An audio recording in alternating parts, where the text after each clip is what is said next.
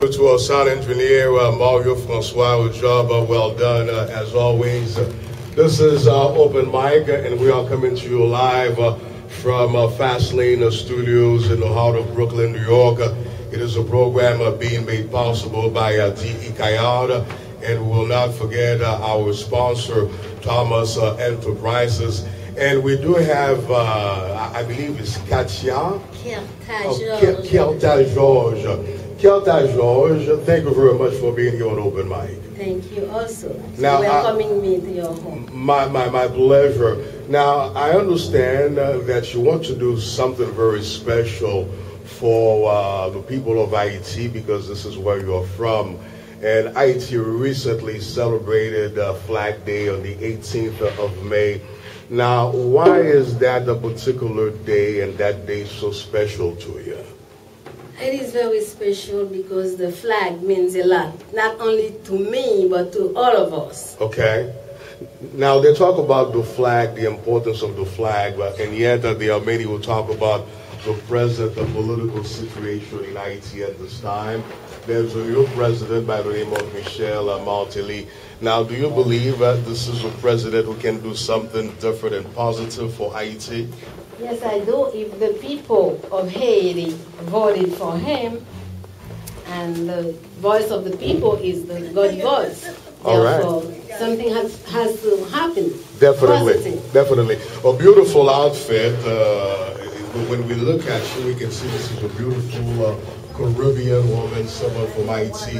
Who, who made uh, this particular outfit? I have my makeup artist, Your makeup artist Yes. made you so beautiful, and your designer at the same yes. time, as well as the hat. the hat, everything. All right. Now we want to remember Catherine Flor because she's the one who basically, you know, sewed up the flag. Uh, you know, as far as uh, our history is concerned, it's a special poem that you're going to do tonight.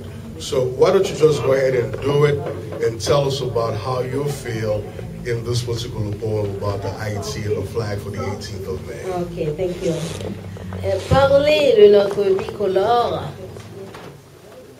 c'est évoquer le nom d'une des silhouettes de femmes qui a marqué l'actualité de notre histoire nationale.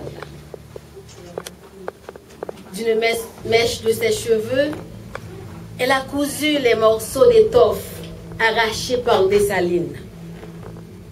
On se souvient de cette phrase mémorable de l'empereur. Il faut arracher ce morceau de tissu blanc qui nous divise. Et depuis, le drapeau haïtien bleu et rouge fut créé. Alors, ce soir, je vous dirai,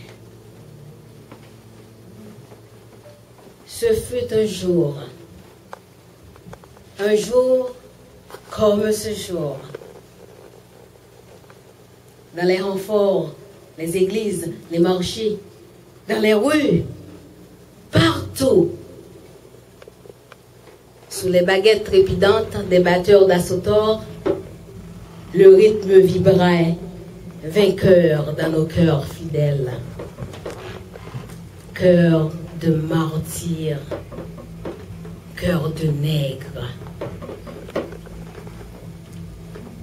Naquit l'aube d'un soleil nouveau, c'était la fête du drapeau. Le vin était à l'honneur. On fraternisait dans une ivresse d'amour et de liberté fraîchement acquise.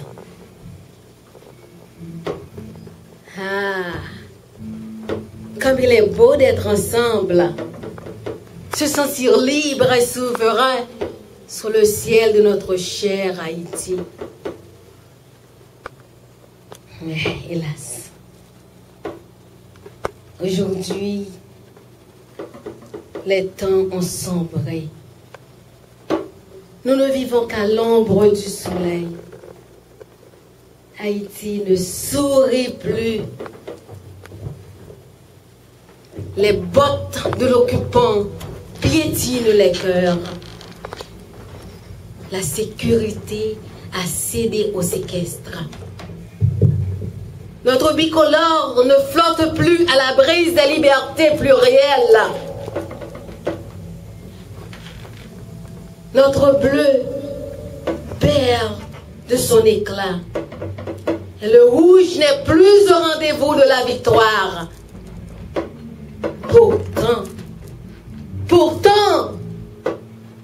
Avions juré de vivre libre ou mourir.